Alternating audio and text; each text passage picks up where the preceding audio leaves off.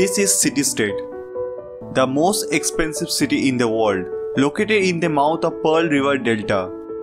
With a population of Kentucky's of 7.5 million and just north of South China Sea, acting as a major harbor between America and Asia, it has the seventh largest port with a GDP of 490 billion dollar and 64 billionaires, rivaling Singapore. A one-step solution for financial hub for Asia, business-friendly policy and separate currency with our Disneyland. Yes, this is Hong Kong for last 20 years. And this is Hong Kong since 2019.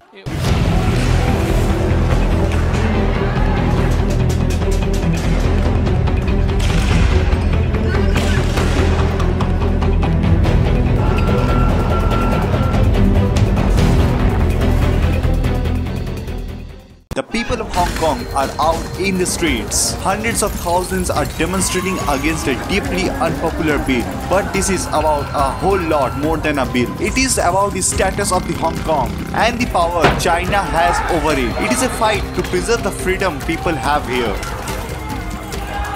This is an oversimplified history of Hong Kong from past to present to future and how Hong Kong became from this to that. This is Siachen's X-File. Hong Kong means fragmented harbor in Cantonese. In 1684, Hong Kong was a small fishing harbor. Under Qing dynasty, which ruled over China, in the year 1757, it became a Chinese trade post. The European demand for Chinese commodity like tea, silk was extremely high and the Chinese interest in European manufactured goods was extremely low. So the only way the Chinese goods can be purchased was using precious metals like silver or gold. But it reduced the British silver reserve to reduce the trade imbalance, the British sold large amount of opium to China and with that silver they bought tea and silk from the Qing dynasty.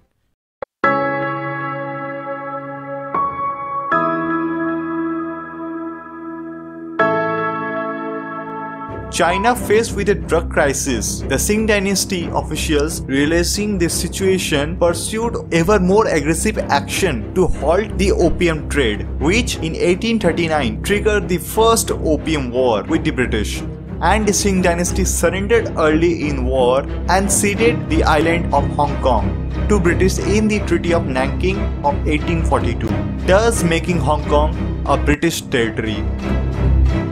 Further tension between the British and Qing dynasty over the opium trade escalated into Second Opium War and the Qing dynasty were again defeated and forced to give up Kowloon Peninsula, the Stonecutter Island, in the Convention of Peking and the colony was further extended in 1898 where the British obtained a 99-year lease of the new territories.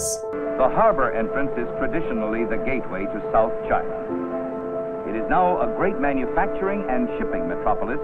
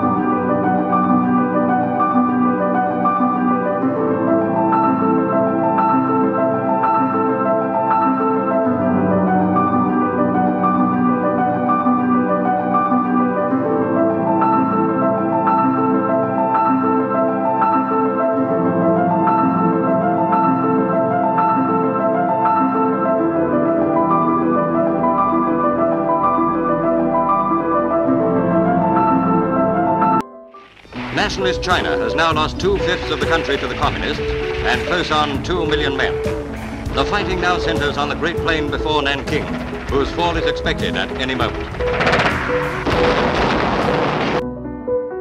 As skilled Chinese migrants fled from the Chinese Civil War, and more refugees crossed the border when the Communist Party took control of the mainland China in 1949.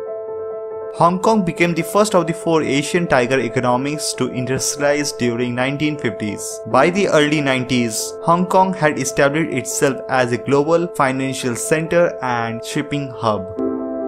So many have died for Hong Kong. British, Canadian, Indian troops, local volunteers. War has helped down to break barrier between the communities of Hong Kong. Hong Kong women have become independently wealthy and they dispense with their money very freely.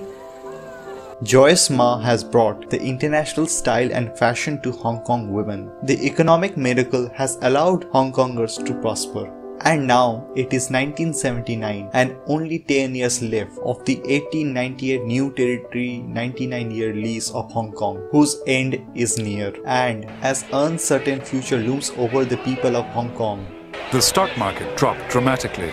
Hong Kong's confidence in the future was further shaken. Deng Xiaoping of China started a diplomatic negotiation with the British, which resulted in the 1984 Sino-British Joint Declaration, in which the United Kingdom has agreed to transfer the colonies in 1997 and China would guarantee Hong Kong's economy and political system for next 50 years after the transfer. But in this chaos, the voices of Hong Kongers were never heard. Oh, at that time we never thought that this, this would, uh, the British would give up the colony back to China. Never thought of it. It never occurred to us. Hong Kong was transferred to China on 1st July 1997. And the British rule of Hong Kong ended after 156 years. Now, Hong Kong people are to run Hong Kong.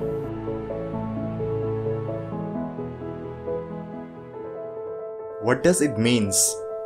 It was called one country, two system.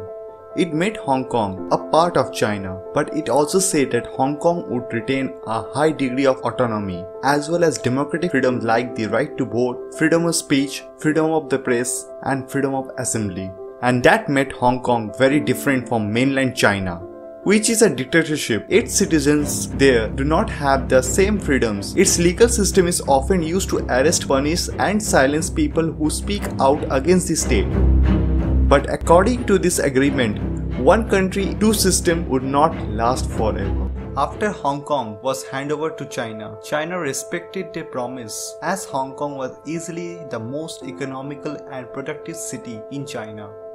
In early 90s, right before the handover, this one city economy was 27% of the China's economy and that's why China agreed to these terms to keep Hong Kong happy and economically free. The Hong Kong Shanghai Bank, a symbol of this prosperity, was founded back in the days of pirates and opium barons. Right next door is the Communist Bank of Red China. It earns $300 million in foreign exchange each year because Hong Kong is a free port used by all nations which was great for the communist regime as it allowed to trade with the outside world and Hong Kong served as the gateway to China for West.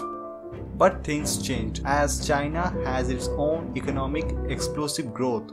These are the China's mega city. Their exponential growth, which easily overshadowed Hong Kong as the economic powerhouse of China. And Hong Kong from 27% of China's GDP went down to 3% today. So Hong Kong, the gateway to the world and economic powerhouse of China, became less relevant. Hence, Beijing didn't have the same incentive to respect Hong Kong's autonomy. That's why China is not waiting for the deal to expire by 2047. It is acting now in 2020. And under the rule of leader Xi Jinping, the pro-democracy leaders have been arrested in Hong Kong and mysterious abduction of booksellers have created a threat to the free speech. Like many democracies, Hong Kong has a legislature with a democratically elected representatives. It is called the Legislative Council and it has 70 seats. Within this system, Hong Kong has many political parties, but they are mostly either pro-democracy or pro-China. In every election, Hong Kong's pro-democracy and anti-establishment parties have won the popular vote but they occupy less than half of the seats in the Legislative Council. This is because when Hong Kongers vote, they only vote for these 40 out of 70 seats. The other 30 seats are chosen by various business communities of Hong Kong. For example, the one seat belongs to the finance industry, the one seat belongs to the medical industry, and one belongs to insurance industry, and so on. Many of these 30 seats are voted on by the corporations and because big business has an incentive to be friendly with China, those seats are dominated by pro-China political parties. When Hong Kong was handed over to China in 1997, Hong Kong and China made an agreement that eventually all members of the council would be elected by the people. But that never happened. And ever since the handoff, the pro-China parties have controlled the Legislative Council despite having never owned more than 50% of the popular vote. The way it is structured, they want to make sure that the executive branch of the Hong Kong can have easy control over it and that would serve the Beijing very well indeed. Within this unique structure, the extradition bill has created new tensions and fueled anger among pro-democracy politicians and it has driven hundreds of thousands of Hong Kongers into the street. So what is extradition bill?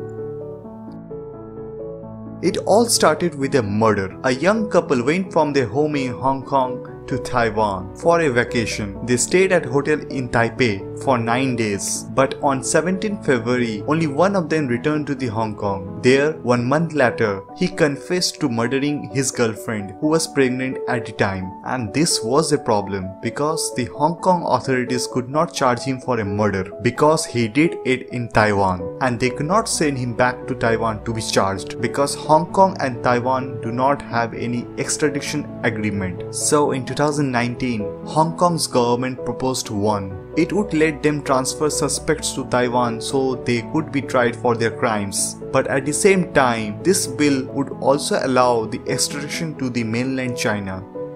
Where there is no fair trial, there is no human punishment, and there is completely no separation of powers and the conviction rate is 99.9% and that's what sparked this protest. China and Hong Kong are two very different places with a very complex political relationship and the extradition bill threatened to give China more power over Hong Kong. The growing Beijing's grip over Hong Kong and curbing of Hong Kongers' freedom of speech resulted into the umbrella movement. Now Hong Kongers are fighting against the extradition bill because the bill was widely seen as the next step in China's encroachment on Hong Kong's autonomy.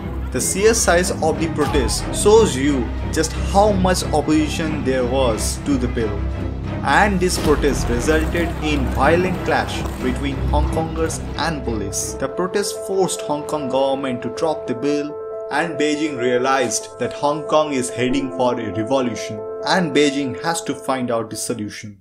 But things stopped. The spread of the Wuhan virus in China and its cover up by the Chinese government led to the global pandemic since December 2019 and the world forgot Hong Kong.